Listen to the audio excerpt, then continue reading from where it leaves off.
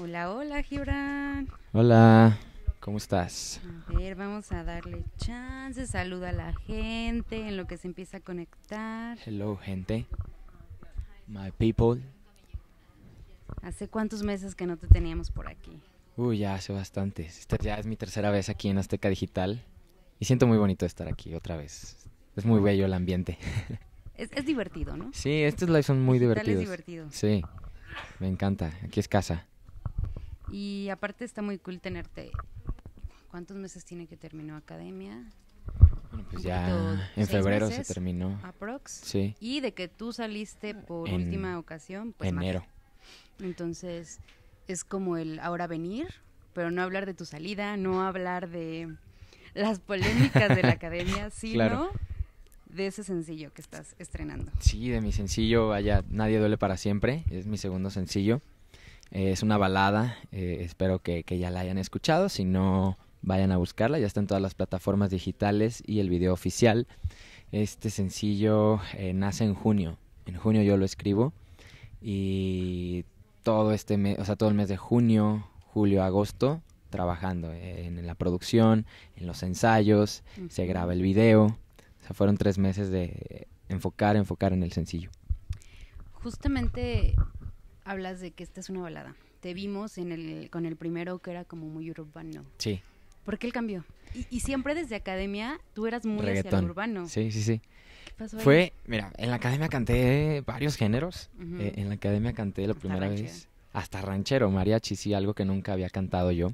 Y es básicamente eso, o sea, ¿no? Experimentar en todos los géneros. Yo sí llegué en la academia, pues, reggaetón, ¿no?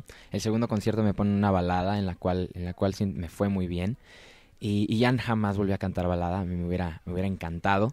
eh, y por eso quise sacar esta, esta balada. El primer sencillo se llama Pegado, también ya está en todas las plataformas digitales. Ese es urbano. Eh, me fue bien, fue buena respuesta de- del público. Con este sencillo no tuve todo esto, ¿no? Toda esta publicidad, no tuve nada, nada, nada, nada. y, y con este, o sea, lo veo también en parte como que el primero, es el segundo, pero pues es vaya, se está hablando ahora de él. Te voy a leer algunos comentarios. Ya se está con- conectando la gente. Hay 1735 personas. Oh, por aquí Dios. arriba. 1900 ya. Buenas Mira, tardes a todos. esto. Los quiero, un abrazo. Dice Pomelo Dondré. Tim Dennis apoyando a Gibby. Saludos, mándame un abrazo. Tim Denis, a Denis es mi hermano, es, yo lo quiero muchísimo, ese canijo, al chapín de oro.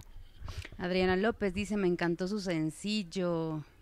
Muchísimas gracias, qué bueno que les haya gustado. Es una canción que, que creo que o sea, la gente se siente identificado. O sea, y si has pasado por algún rompimiento amoroso y no la has escuchado, te la dedico esa canción, te va a ayudar a cerrar ese ciclo que no has podido cerrar. No te vas a tener que cortar el cabello ni nada, esa canción te va a ayudar. Justamente queremos saber sobre eso.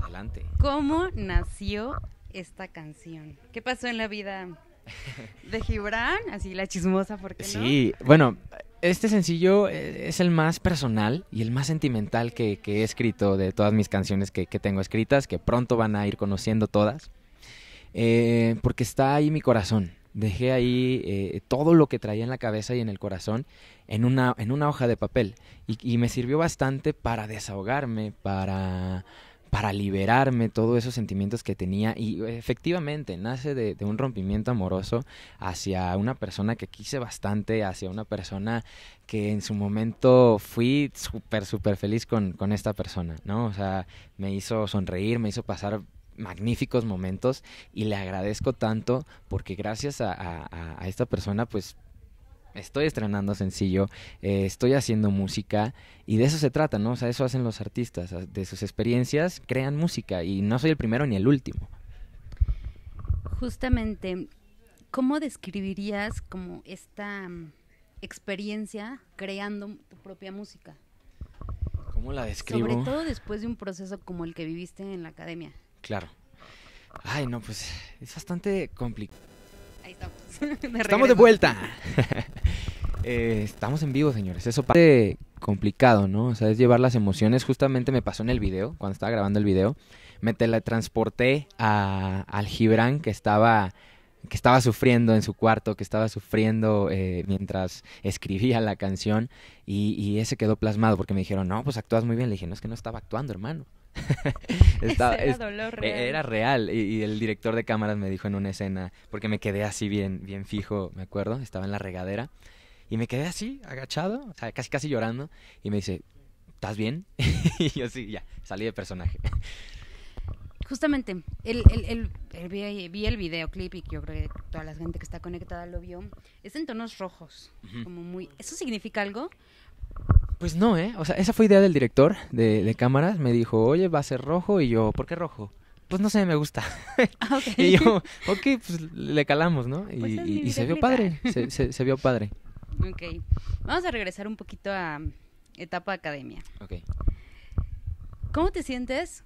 Ya lo hemos hablado un poquito, a, a varios meses, o más bien, ¿cómo ves tu paso por la academia como ya a ese tiempo de distancia? Yo sé que fue complicado, Sí. fue un poco diferente eh, lo que tú viviste al resto de los demás, porque hubo todo este tema Claro. de... Sí, sí, tema. sí, lo que pasó, lo que- pasó con. Dana, Claro. lo de los memes, o sea, Sí. más allá de- del momento en el concierto, los memes, todo lo que sucedió después de... Mira, después de fue bien complicado. Eh, eh, no ha pasado ni el año, tenía 19 años, ya tengo 20, pero sigo siendo el mismo, el mismo niño, ¿no? Y, y es complicado cómo pasó de la noche a la mañana todo esto. Y me pongo, bueno, no en el lugar, pues, creo que hubiera soportado eso, Ujú. ¿no? Eh, pero creo que no cualquiera hubiera soportado porque yo recibía amenazas, te lo juro, hasta de muerte, de que, de fans de, de Dana Paola y me ponía en su lugar. ¿no? Estás eh, diciéndole a tu artista favorita cosas feas, pues la van a defender a capa y espada. Eh, no sé ni cómo le hice para digerir tanto odio, porque te lo juro, fue, fue bien difícil. Yo me paraba en la mañana y veía tanto, tanto odio. Y yo decía, pues ni modo, ¿no? O sea, creo que cualquiera hubiera dicho, ¿sabes qué? No quiero saber nada de redes sociales, adiós, tan tan.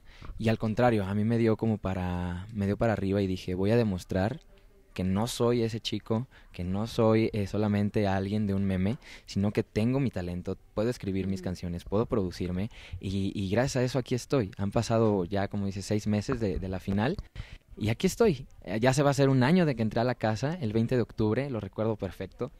A un mes de, de que se haga un año y si, me, y si me hubieran dicho ese día, ¿sabes qué? En un año vas a estar estrenando segundo sencillo, vas a estar en Azteca promocionándolo, hubiera dicho, te creo, pero a la vez no, estás loco.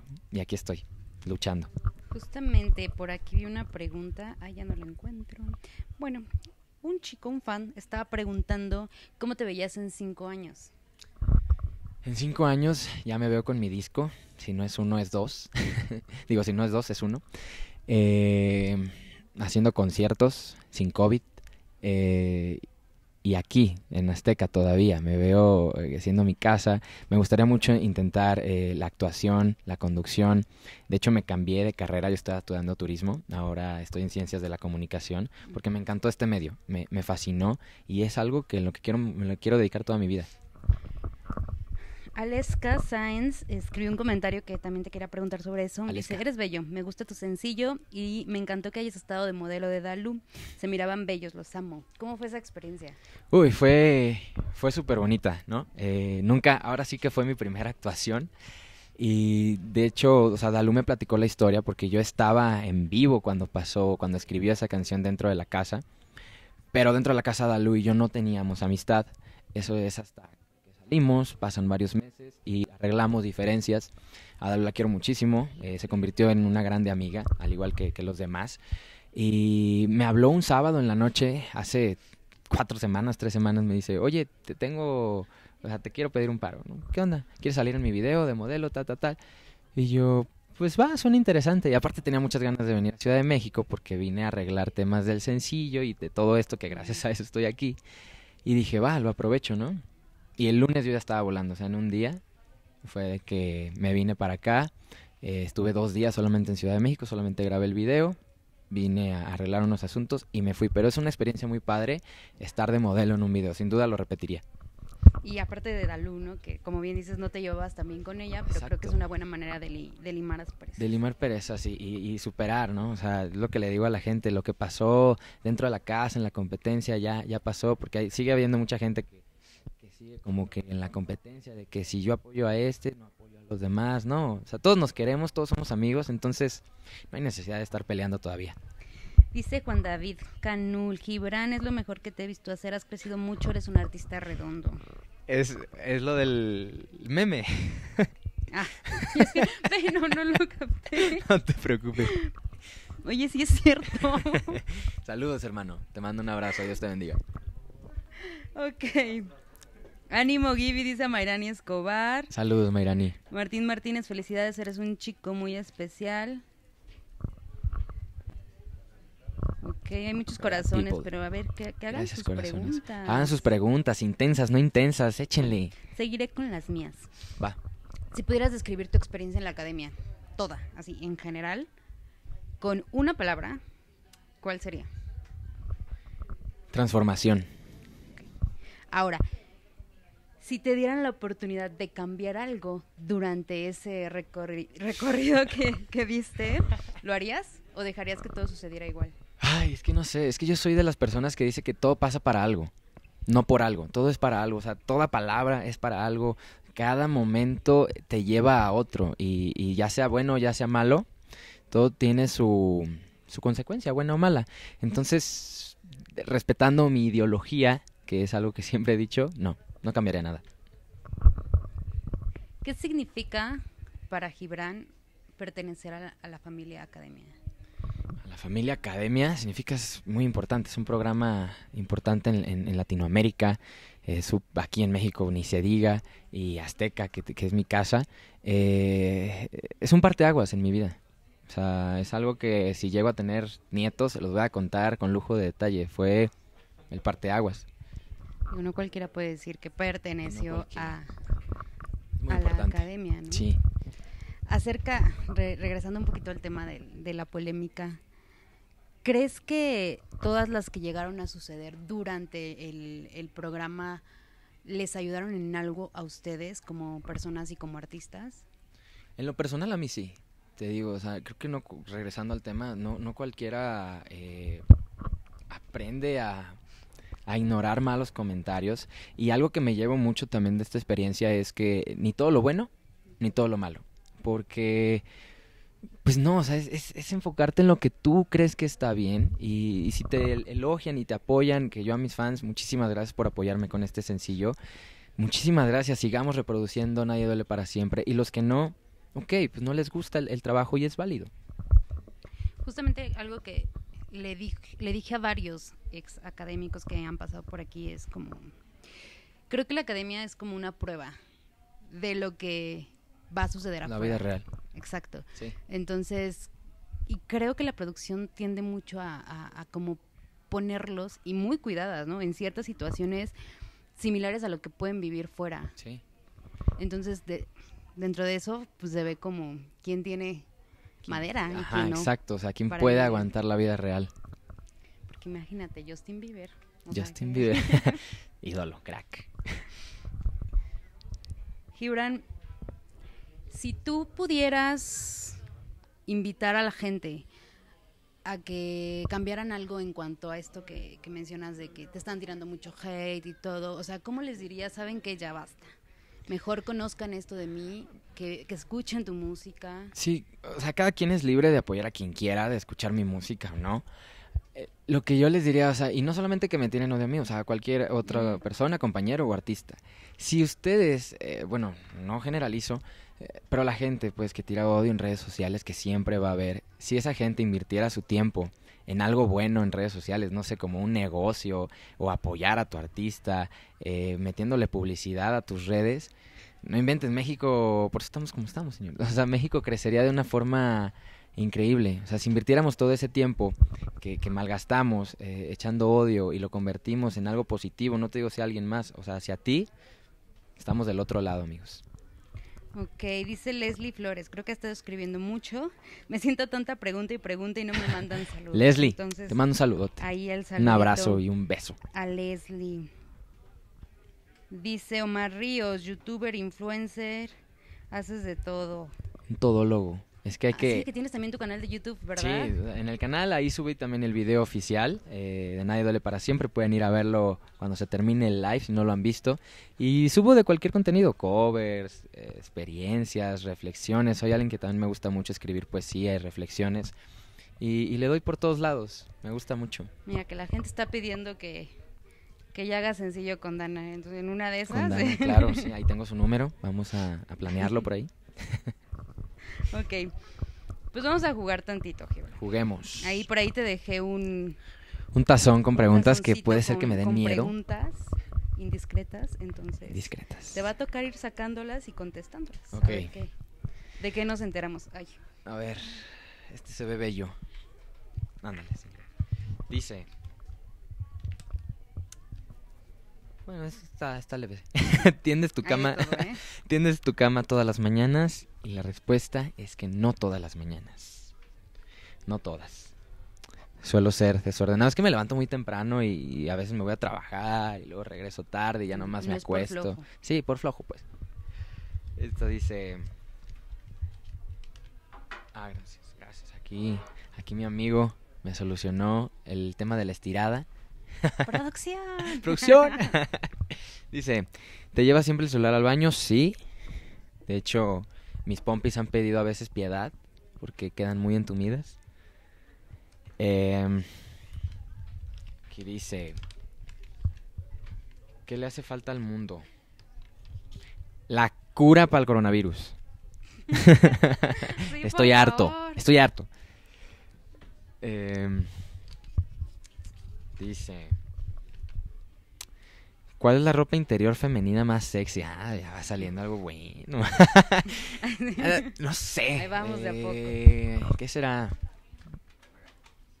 ¿Tanga? Es la bueno, que pues para mí sí, para mí me, me- me parece sexy. Em, dice, están muy doblados. Ah, caray. ¿Cómo fue tu first time? ¿Cómo fue tu primera vez para, para los no bilingües? Mi primera vez fue bonita. Bueno, tú ahí te fuiste por otro lado. ¿Qué tal si nos referíamos al escenario? No, no se refieren a eso, ya los conozco. Am, ¿Eres celoso? Celoso sí, posesivo no. Ok. O sea, y no, no celoso. Pero hay que tener muy, muy clara Enfermo. el- la línea, porque puedes Sí, sí, pasar sí. de uno a otro. Sí, o sea, celoso de que tranquilo. Aparte creo que a las mujeres les gusta que sean celosos, ¿no? O sea, no, Ah, no eh, posesivo, eh. pero o sea, que sí les gusta sentirse un poco celadas. A bueno, a mí en lo personal sí. No, no, no sé, no podría generalizar. ¿Por qué no? Bueno, no generalizo, pero en lo gen- yo, o sea, sí me gusta que me celen. ¿Eres de los que se hace pipí en la regadera? Esto ya me los habían preguntado en el live. sí, ya había dicho que se hacía pipí en la regadera.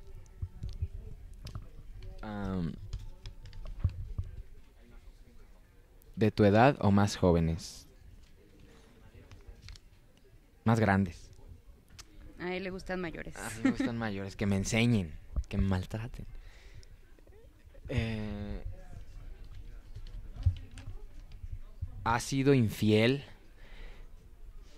Ah, sí, pero no con esta relación que ustedes, que todos conocen, porque la gente piensa que solamente tengo una exnovia, que es Mm. con la que en la academia, o sea, solamente piensan que es ella. Y no. De hecho, hablé de mi relación en, en la academia, que fue muy tóxica, tanto ella a mí y yo a ella, y fue muy feo. Y ahorita somos amigos. Am, el mayor tiempo que has estado sin bañarte. ¿Dos días? Espero no haya sido en la Dos academia, días. porque ahí se la pasaban. No, ahí, ahí nos obligaban a bañarnos. No, dos días y fue este en tiempos de COVID, cuando estaba así de que encerramiento Sí, igual total. y ni voy a salir. ¿para Ajá, qué no me salía, ¿para qué me baño?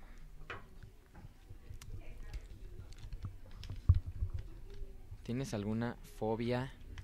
Claustrofobia. Y aguanté Las- la academia. Sí, bueno, no estás como... No, pero no es tanta, pero sí, a veces que voy en el elevador y son varios pisos y digo, ya ábrete sésamo. Ah. ¿Usas ropa interior todos los días? No, de hecho hoy no traigo. Eh, hoy vengo al, al desnudo, por abajo. Dicen sí. que lo ense- que, que enseñe a ver si es veneno. Porque capaz que sí ¿Qué se dicen- quita qué la dicen por ropa ahí? aquí. Bueno, malo, tú échale. ¿Alguna vez has robado algo, un chicle, en la tiendita de niño? ¿Qué? No, es que Que la yo- gente sigue es que mandando yo veo que te preguntas. la curas. Entonces estoy, Ah, te las estás estoy guardando. guardándolas ah, bueno. para, ah, para bueno. después de la Aguanten, banda, aguanta. Eh, ¿Te has ido sin pagar? Sí. He sido muy vago, chintrola.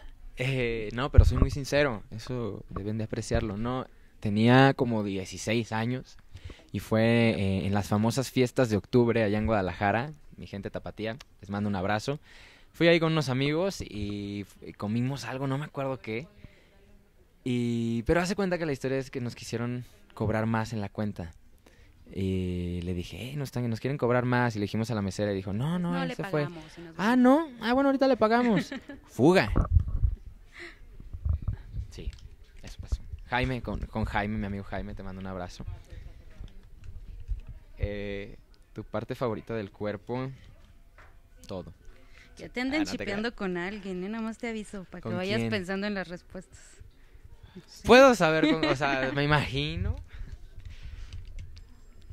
Una semana sin salir o una semana sin celular, una semana sin salir. Fácil. Soy muy vicio a mi celular, de hecho aquí lo tengo. Mira, van varios que me han mandado mensaje de live. Eh, duermes con mi perro, Iñaki. Este, con mi perrito Iñaki duermo. Y la última. Tu amor platónico. Ay, pues. Ah. sí, no, al principio sí, eso era ella. Eh, Ya, podría seguirlo siendo. Pues que sí tengo, pero pues no la conocen. Entonces, o sea, si fuera un artista, Selena Gómez. Selena Gómez. Sí. Bueno, a ver. Sí tengo mis crushes allá afuera. Y no me hacen caso. Tengo ya algunas aquí seleccionadas. A ver. ahora sí. Entonces, Viene lo bueno. dice mi, mi Ah, Chelita. Mi ¿Con chelita. quién te Chelita. gustaría hacer un dueto más adelante? Saludos desde Tecate. Desde Tecate.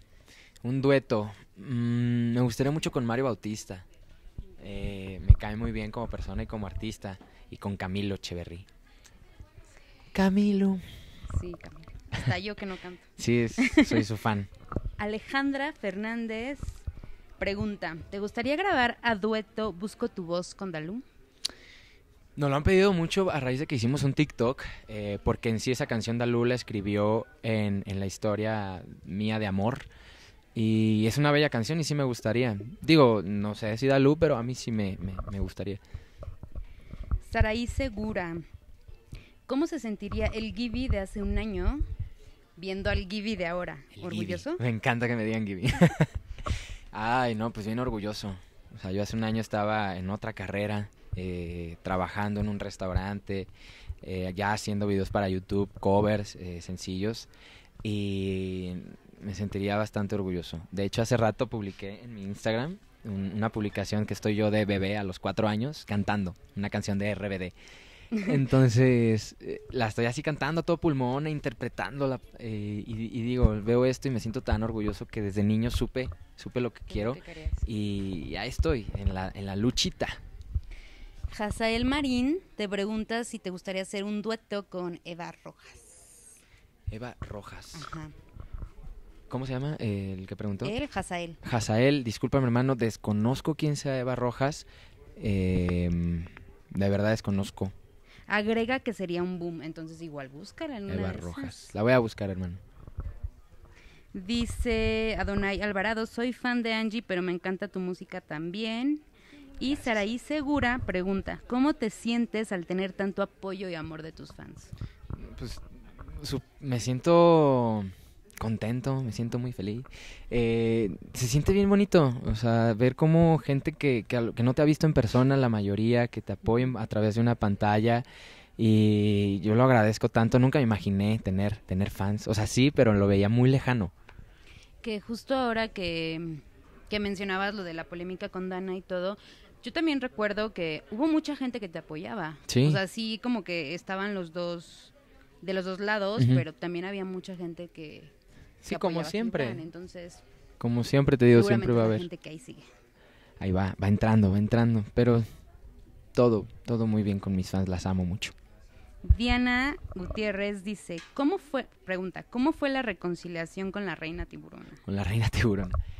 Ya lo hemos explicado millones de veces en nuestros Instagram, pero fue, eh, hicimos una campaña de más amor, menos hate por todo esto de los fans que, que de verdad, o sea, si apoyaban a uno, no apoyaban a otro y por temas que vivimos en la academia, al final de cabo, pues era una convivencia y, y, pues tenían a sus favoritos, ¿no? Y decidimos unirnos la mayoría y de decir, ¿saben qué? Ya, ya basta.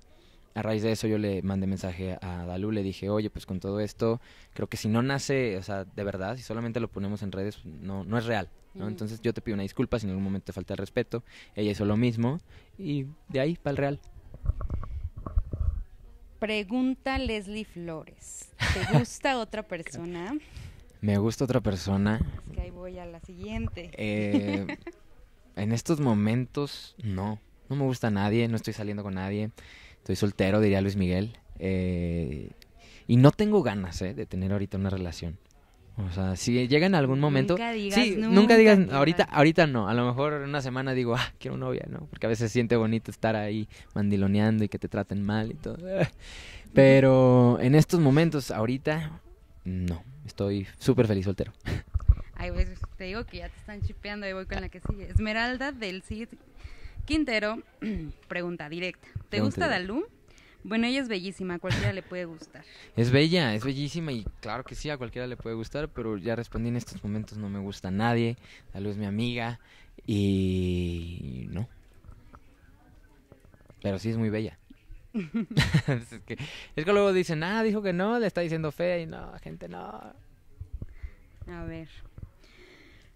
Pues nada, hay mucha gente mandando saludos, hay gente de, de Perú.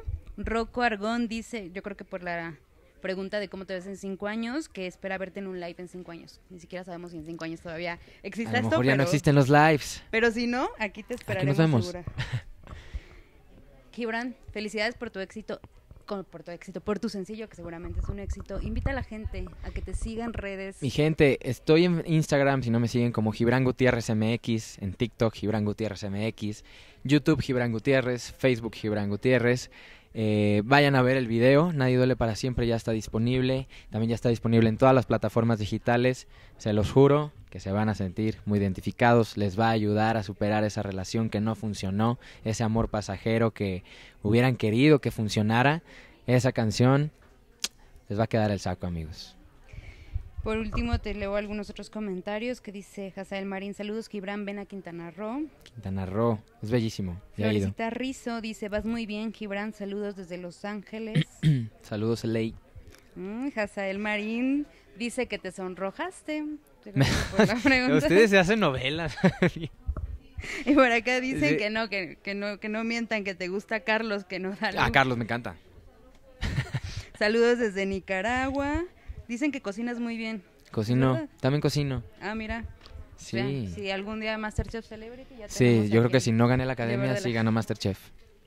Sabe. Venga, pues muchas felicidades, Gibran. Muchas gracias. Cuando quieras regresar, sabes que esta es tu casa. Muchísimas gracias, Azteca. pues, a seguirle dando. Chao.